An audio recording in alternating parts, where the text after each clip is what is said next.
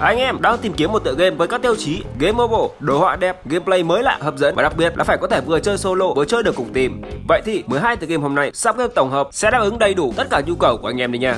Game hay thì ủng hộ sắp game một like và đăng ký kênh nhà mấy ông. Ok, game là dễ. Hãy để tôi giới thiệu game cho anh em. Còn hay dở như thế nào thì tùy anh em cảm nhận nha. Còn do thì bắt đầu video thế nào.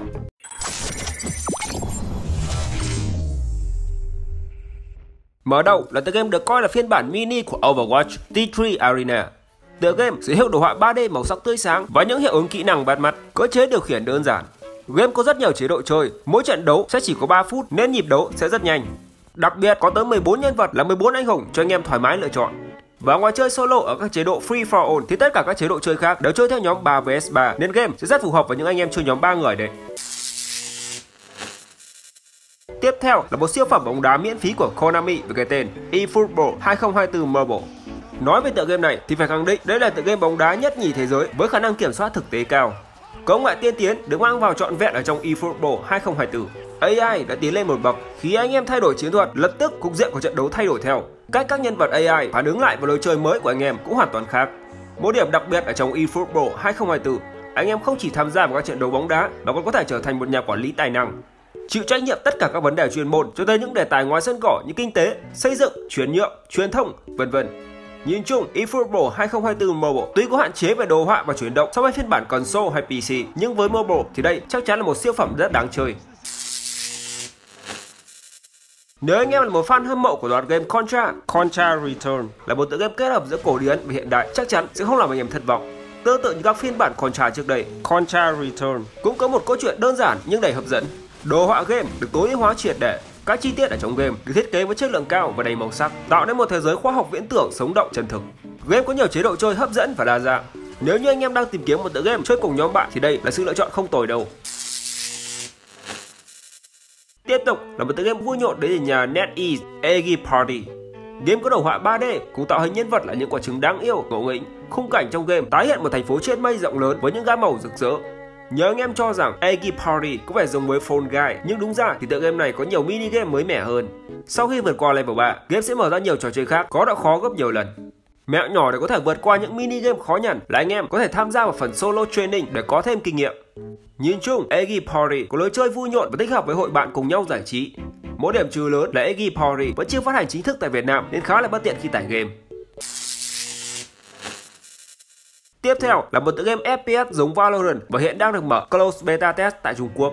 Tựa game dựa trên lối chơi tên cái cổ điển của IP Firewire. Với đầu họa 3D đỉnh cao, đầy màu sắc tạo ra một thế giới game vô cùng sống động và chân thực. Ngoài ra còn có thêm các nâng cấp vũ khí và chiến thuật chơi đa dạng hơn. Fire Warrior 2 có nhiều chế độ chơi hấp dẫn như đặt bom, bắn tỉa tầm xa, đấu vũ khí cận chiến, hỏa lực không giới hạn, đấu tay đôi và các chế độ chơi khác nhau để anh em thỏa sức trải nghiệm. Tiếp tục là cái tên có sự kết hợp giữa cả đua xe và đá bóng Rocket League Sideway là bản chuyển thể chính thức của tựa game đua xe bóng đá Rocket League nổi tiếng ở trên PC lên nền tảng Android. Thay vì góc nhìn thứ ba cổ điển với chiếc xe luôn ở trung tâm của màn hình thì phiên bản Rocket League Mobile này cung cấp một góc nhìn bên cạnh cho phép anh em quan sát môi trường xung quanh tốt hơn.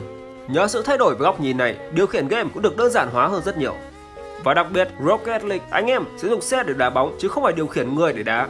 Mỗi trận đấu chỉ có 2 phút nên nhịp độ game sẽ rất nhanh. Anh em có thể chơi solo hoặc dù cả team vào để quấy banh nóc sân cỏ nha.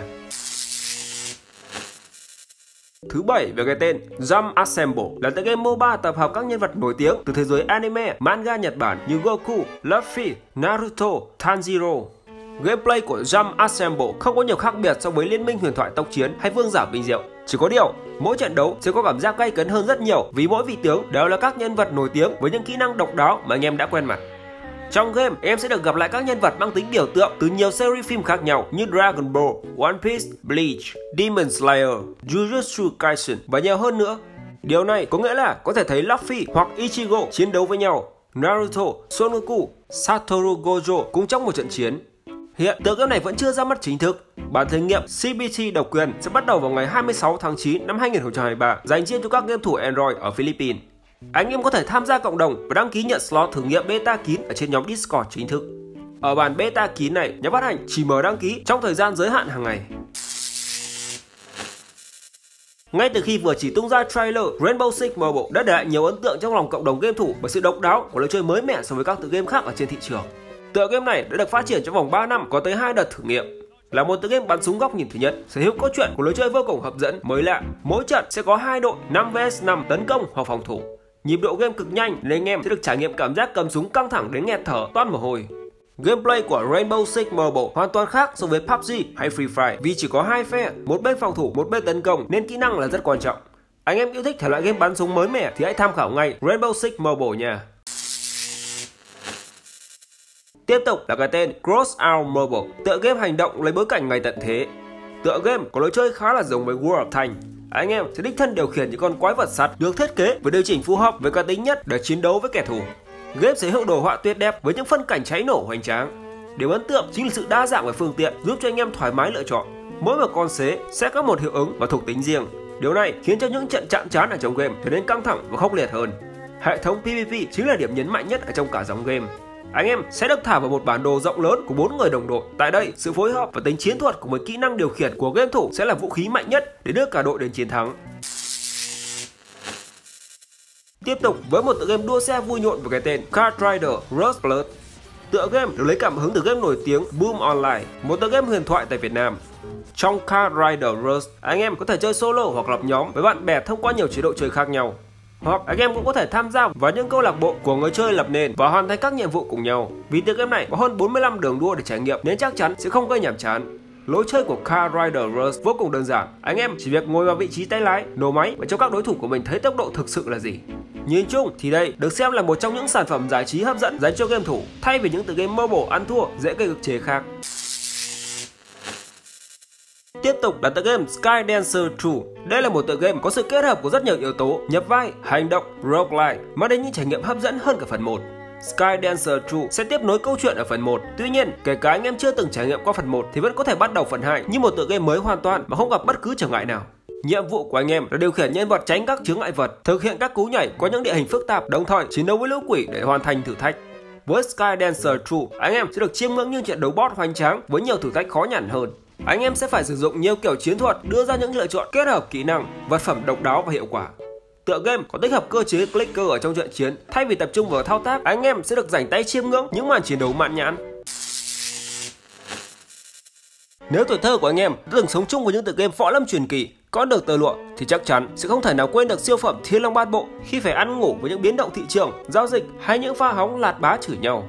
Thiên Long Bát Bộ như một điểm nhấn ở trong dòng game kiếm hiệp mà khó ai có thể quên được. Và mới đây nhất, Tencent đã mang siêu phẩm đấy trở lại với cái tên Dragon Art New. Dragon Art New là một tựa game nhập vai thế giới mở sử dụng công nghệ tiên tiến Unity 5 PBR vô cùng đặc sắc. Game đã tái hiện lại một thế giới võ lâm sống động.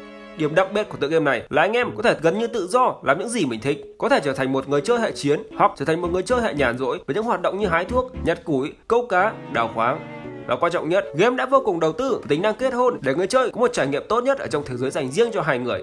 Hiện game chỉ mới ra mắt ở bên Trung Quốc. Ok, và vừa rồi là 12 tựa game đủ thể loại chơi cùng với bạn bè thú vị nhất mà đồ họ lại còn cực kỳ xịn sò mượt mắt.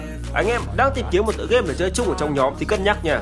Game hay, đừng quên cho sub game một like, một subscribe để theo dõi thêm nhiều video mới hay hơn nha. Hẹn gặp lại anh em ở những video sau. Chúc anh em chơi game vui vẻ.